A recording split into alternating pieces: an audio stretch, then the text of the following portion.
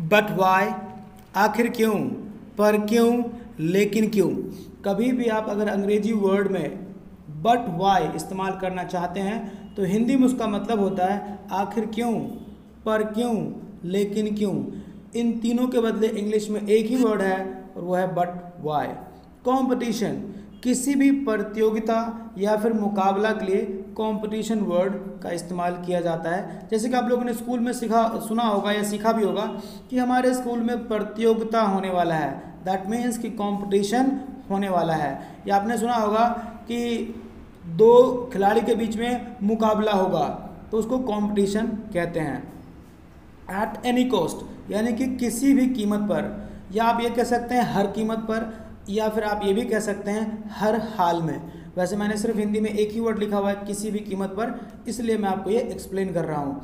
तो eight any cost किसी भी कीमत पर, हर हाल में या किसी भी हाल में आप वर्ड करेंगे इस्तेमाल at any at any cost चलते हैं टिमिड इसका मतलब होता है कायर या फिर डरपोक, या फिर आसानी से डरने वाला, जो बहुत ही जल्दी किसी भी बात को लेके डर जाए।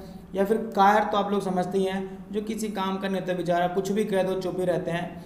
डरपोक, जो डरपोक होते हैं, आपको मुझे लगता नहीं कि एक्सप्लेन करने की ज़रूरत है इसे।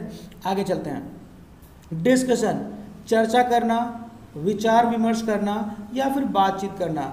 आप लोगों ने देखा होगा कि लोग डिस्कशन करते हैं किसी चीज़ के ऊपर ऊपर में मतलब किसी चीज़ के मैटर के बारे में, या फिर चर्चा करते हैं, चाय पीते रहेंगे और किसी चीज़ के ऊपर डिस्कशन करते रहते हैं, या फिर घर परिवार में लोग बातचीत करके चर्चा करते हैं या फिर विचार विमर्श करते हैं कि क्या करना है तो इस तरह से इस्तेमाल करते हैं हम लोग वर्ड डिस्कशन फिर है देर एंड देन यानी कि वहीं पर या फिर बस उसी समय या बिल्कुल तभी।